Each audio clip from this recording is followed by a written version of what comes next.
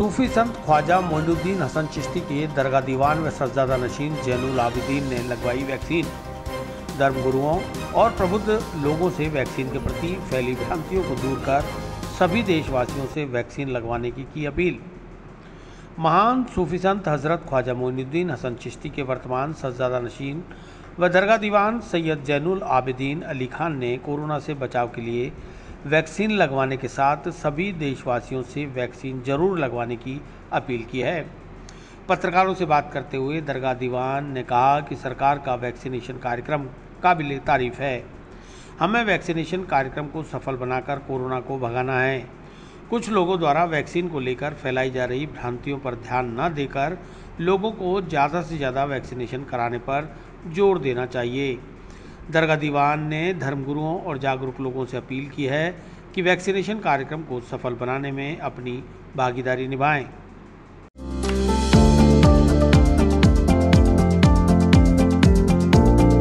Mohan watch and mobile Ajmer शहर में चार प्रतिष्ठान आपकी अपनी मोबाइल की दुकान। हेलो एवरीवन मैं मोहन वॉचन मोबाइल पे आपका सभी का स्वागत करता हूँ। मेरी अजमेर में चार दुकानें हैं आप कहीं भी जाइए आपको सभी जगह सेवा भरपूर मिलेगी। आ जाइए मोहन वॉचन मोबाइल पे आपकी अपनी दुकान जहाँ आपको मिलेंगे हर ब्रांड के लेटेस्ट मोबाइल और असेसरीज वो भी सबसे कम और किफायती दरों पर। Mohan watch and mobile Kachahri road Nasirabad road Vaishali Nagar और station road Ajmer.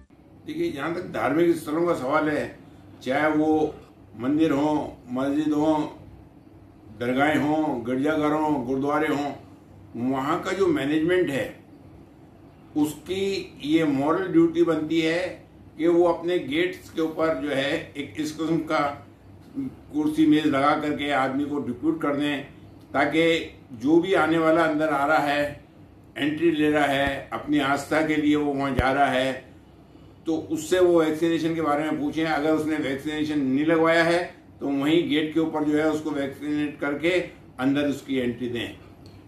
Know vaccination no entry बहुत बढ़िया सर। राजस्थान सर राजस्थान सरकार ने एक संदेश भी जारी करा था कि बहत्तर घंटे पहले अपनी जाँच करा के ही कहीं जाए। तो यहाँ पे ज़्यादा भीड़ रहती है उसके बारे में आप क्या कहेंगे? देखिए बहत्तर घंटे तो एक दूसरी चीज़ है लेकिन लोग आस्था के अंधे इतने होते हैं कि वो इतने महीने के बाद में जब दरगाह खुलेगी तो वो जूक दर जूक जो है मेले की शक्ल के अंदर यहाँ पर आएँगे।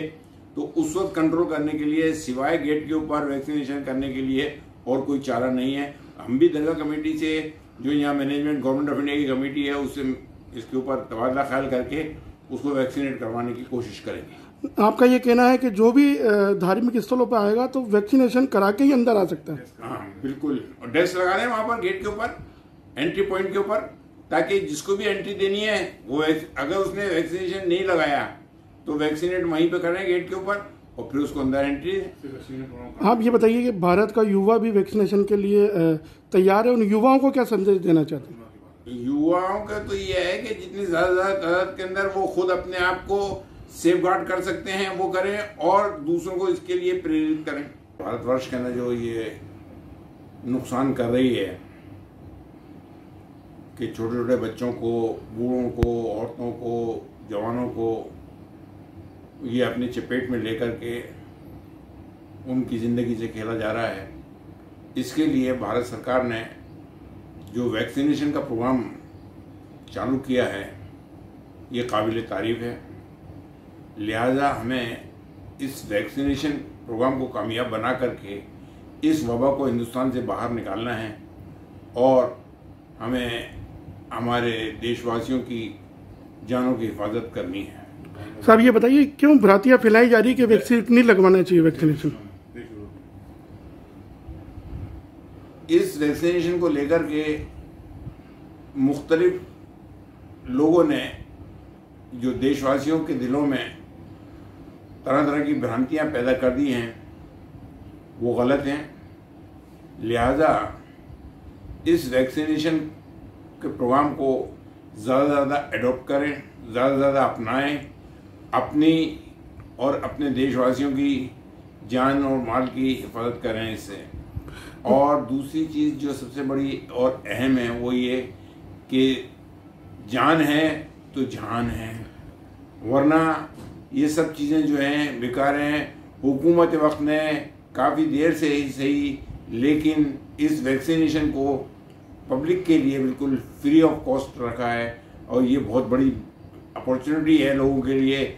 इसलिए गली मोहल्लों में जो लोग समझदार तबका है, जो पढ़ा लिखा तबका है, वो अपने अज़ीज़ व अपने दोस्त अहबाब और जो मुतल जानने वाले हैं उनके वहाँ कैंपों के अंदर छोटे छोटे कैंप लगा करके इस वैक्सीनेशन के प्रोग्राम को कामयाबी की तरफ़ माइल करें। आपको क्यों लगता है कि वैक्सीनेशन लगवानी चाहिए? क्या वजह? वैक्सीनेशन इसलिए लगवानी चाहिए कि इसके अलावा आपके पास में चारा क्या है?